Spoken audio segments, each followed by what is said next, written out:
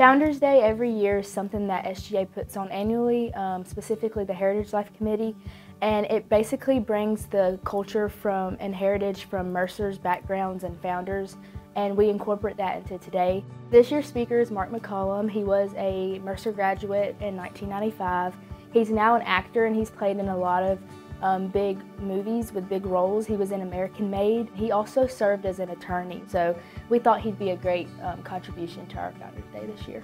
I would say students get more excited for Founders Day when they hear who the speaker is and like all the accomplishments that he or she has done. It was really cool to kind of see someone who is very successful and knowing that they came from Mercer, it kind of just gives you some like encouragement to know that someone who's at the top and has worked hard to get to where they are came from the school. This year, Founders Day will be Wednesday, February 6th at 10 a.m. in Willingham Hall. Um, make sure to bring your bear card so you can get your gift afterwards, and we look forward to seeing you there.